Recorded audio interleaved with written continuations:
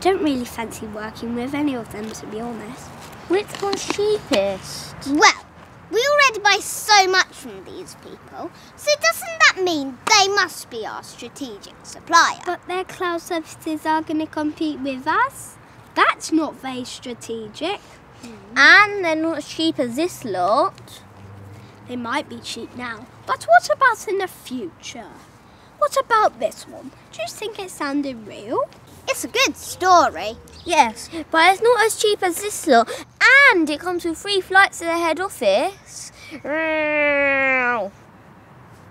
So, how are we going to decide then? Well, we've got to do something. SDN and NFV is, well, it's game changing. Ready? One, two, three.